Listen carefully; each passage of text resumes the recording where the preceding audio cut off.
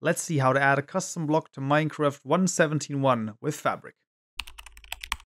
Alright, we found ourselves in IntelliJ once more, and in this tutorial we will add a custom block to the game, which actually is going to be fairly straightforward and very similar to adding an item to the game. In a similar manner, we will create a new package inside of our tutorial mod package called block. And inside of here, we will create a new class, which will be the mod blocks class. And this class will have similar methods than our mod item class. The first thing we will add is a public static void register mod blocks method right here. This will simply output system out print line registering mod blocks for, and then once again tutorial mod.mod ID. I quickly wanted to mention why we're adding this method. This only outputs something, but we still have to call it why. The idea is that we have to call this class once so that the static fields sort of initialize. That's the basic gist of it. If you do not have this and don't call this in the tutorial mod initialize method right here, then adding the items and the blocks will not actually work. So this is definitely a, a requirement in this case. And then we want to register a block. So private static block now, what is very important that we take the net Minecraft block right here, singular block register block, once again with a string parameter name and a block parameter called block. We will once again return registry and making sure that we have a net Minecraft util registry dot register registry dot block and then a new identifier with our tutorial mod mod ID and the given name and then the block. So that's all that we really need to do to register the block.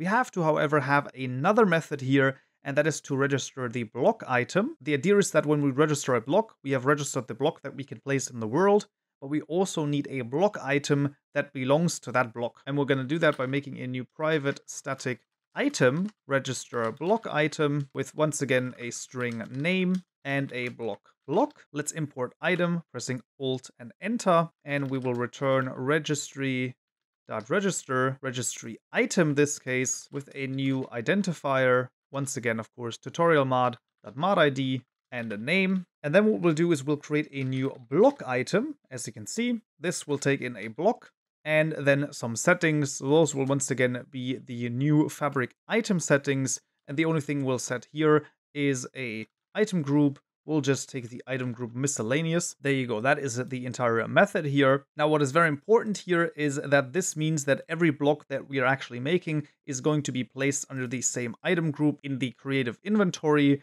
We can change this later down the line, or we could also, for example, add a parameter to both of these methods so that we can select the group that we want to this is something that we might want to do. At the moment, we're going to keep it like it is. And then we will also call this right here. So register block item with the same name and the block. So the item will have exactly the same identifier as the block. This is not an issue because they're registered in different registries here. So that's all going to be fine. And now on to making the block. So public static final block called ruby underscore ore and we will call the register block method here with the first parameter being ruby underscore ore all lowercase and just like this once again, this name here gets generated automatically, so you don't have to type that out. And then we have a new block that we're going to create. And those also take settings. Those will, however, take the fabric block settings in this case. And those are usually off some type of material. So we're going to say fabric block settings dot off and then material dot stone, for example. Let me quickly format this a little bit nicer. There you go. After the parentheses of the off call,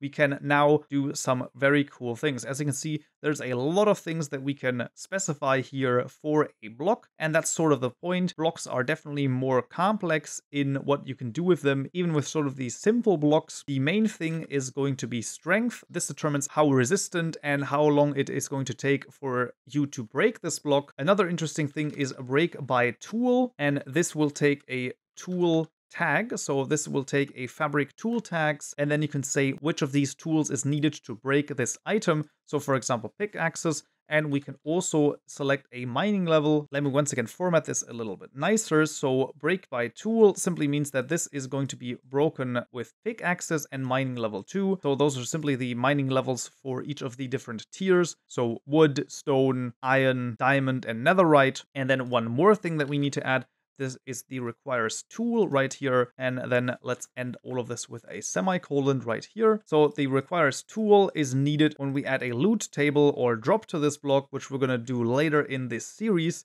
then this is required. Uh, otherwise, it will not work. I still am not quite sure why this is not the default, because usually every block you actually mine should have some type of drop, but anyway, that's the way it is. Right, and this is the block added. Let's also call the mod blocks.register mod blocks in the on initialize method right here. Make sure that this is called second. So after the mod items, register mod items, just to make sure that this is in the correct order here. And then we can move on to the JSON files. The first thing in the assets tutorial mod folder let's create a new directory called block states. Now, very important that this is block states exactly written like this with an S at the end. And there we will create a new file called ruby underscore ore dot JSON. Now this once again is of course the same name that we have in this register block method right here.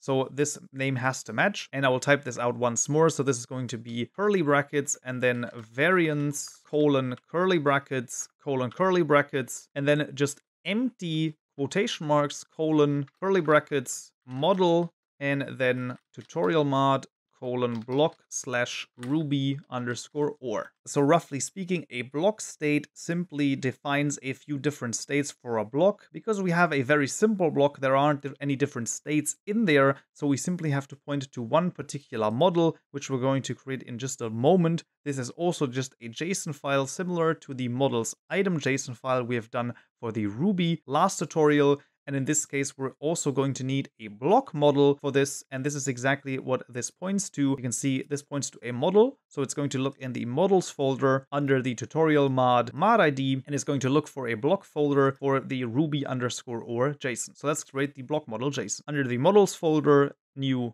directory block and then in the block folder new file ruby underscore ore dot json and we'll type this out for once as well. There's going to be curly brackets parent block slash cube underscore all textures colon curly brackets all and then once again tutorial mod colon block slash ruby underscore ore. This will simply make it so that all six sides of the block have the ruby ore texture that we will of course also create in the textures folder. Now very important that this points to the block folder inside of the textures folder, so that is something else we need to create. But before we can do that, we actually do not have an item representation yet. So for the block, you will also need to add an item model here. So right click new file ruby underscore ore dot json. However, this is very easy. This is simply going to be curly brackets and then parent colon tutorial mod colon block slash ruby underscore ore,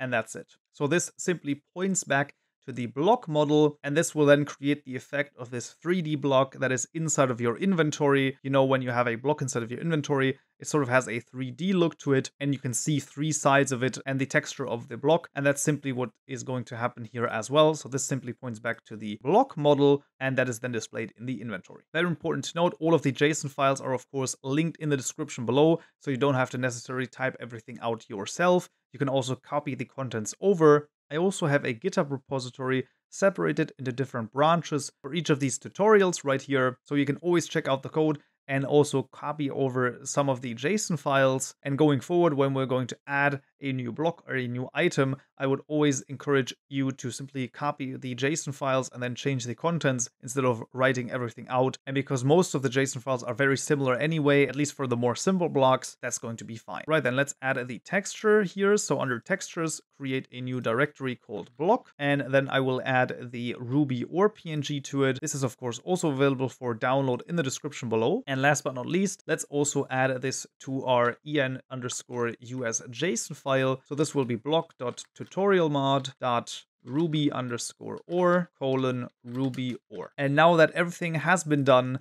let's see if our block has been added to the game. Or if we find ourselves in Minecraft once more and let's see if the block has been added. It should be under the miscellaneous tab at the very bottom and there it is, the ruby ore has been added to the game. Let's set it down. And I must say, isn't this just the most beautiful thing you've ever seen? Well, maybe not quite the most beautiful thing, but it's still pretty cool. Yeah, and that's how easy it can be to add your own block to Minecraft. And that would already be it for this tutorial right here. I hope you found this useful and you learned something new. If you did, I would of course appreciate a like and I will see you in the next tutorial. So yeah,